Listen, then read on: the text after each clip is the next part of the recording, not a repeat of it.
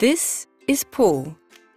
Standing in the beverage aisle, he can't decide between the various types of packs to buy.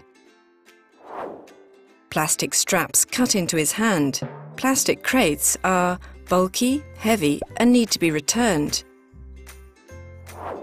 Plastic rings and film packs are bad for the environment. All of them generate a lot of waste. Then he discovers the new Nature Multipack. No packaging at all.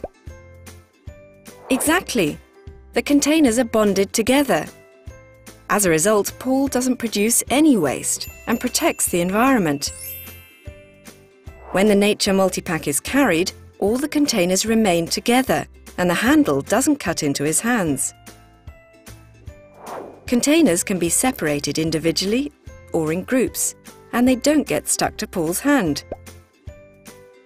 The other containers stay together, and Paul still has a group of containers which he can carry safely. Nature Multipack, powered by KHS.